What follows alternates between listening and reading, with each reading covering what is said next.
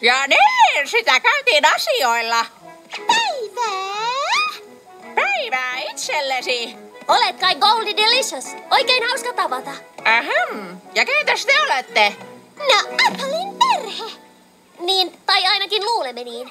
Mutta tarvitsemme apua, jotta näemme, onko Pinki vai neljännen serkun kolmas sukupolvi.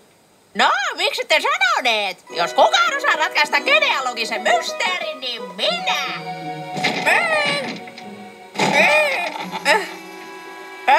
Olen pahoillani tästä. Äh, äh, En oikein osannut odottaa seuraa.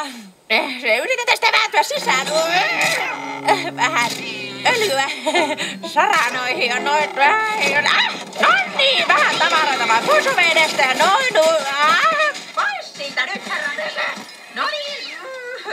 No niin, muru. Tules, pikkuinen. Ja sisään vain.